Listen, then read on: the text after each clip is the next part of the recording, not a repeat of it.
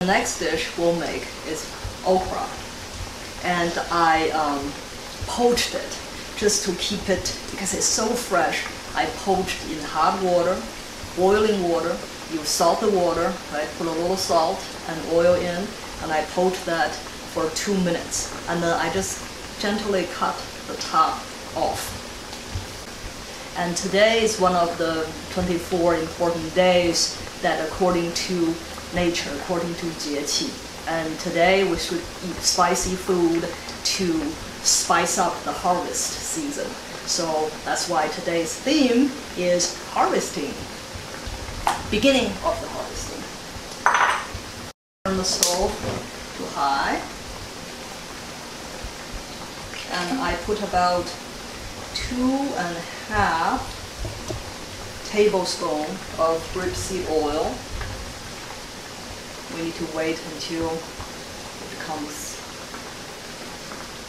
hottish, not too hot, okay? Oil is hottish, it's ready.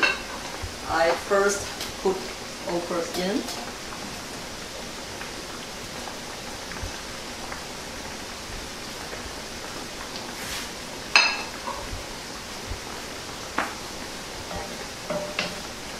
Let it stir fry a little bit.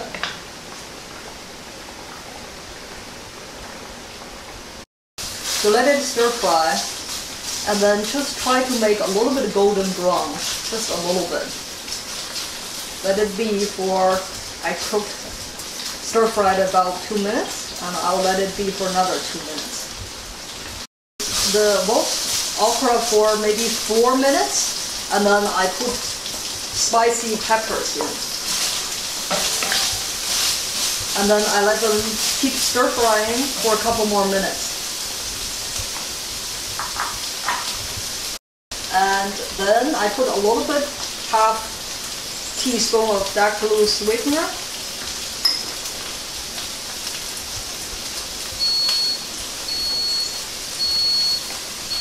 Just a tap of lemon juice.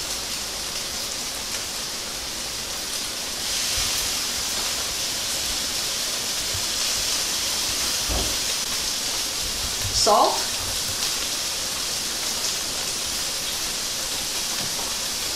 and pepper.